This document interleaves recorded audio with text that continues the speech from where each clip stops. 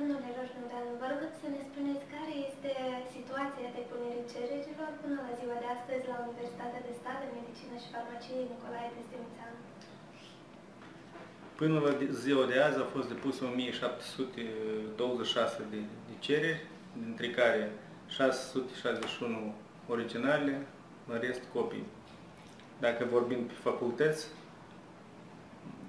la farmacie 205 cereri în total, medicină generală 800, sănătate publică 42 și stomatologia 248.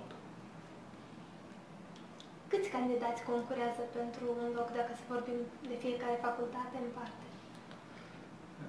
Vorbim despre fiecare facultate în parte, e clar, atribuind numărul cererilor locurilor bugetare, cele mai solicitate au fost stomatologia și farmacia, concursul fiind de la 11 până la 17 pe un loc la farmacie, de la 10 până la 16 și 7 la stomatologie. La medicina generală, concursul pe locurile bugetare variază de la 2 până la 36 pe un loc.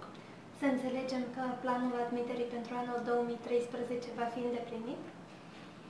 Totul va depinde de perioada de depunere a actelor în original, care va demara de la, de la 5 până la 7 august inclusiv, în care dacă vom obține numărul de originale suficiente pentru a acoperi toate locurile, atât bugetare cât și taxe de studii, atunci consider, vom considera că turul 2 nu va avea loc.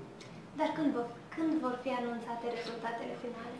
Rezultatele preliminare, în primul rând, vor fi anunțate pe 3 spre 4, apoi va fi o perioadă de depunere a actelor în original, până la 7 august inclusiv, după care va urma concursul definitiv în baza originalilor lor. Ce doriți să le spuneți celor care doresc să devină medici și farmaciști, dar până acum nu au depus încă cererea? Doar pot să mă adresez la cei care deja au depus la noi, dar care mai au dubii de a depune sau nu actele în original, dacă vor să obțină niște studii serioase și cu de prestigiu, să vină la Universitatea Testimițan. Vă mulțumim frumos! Ne așteptăm!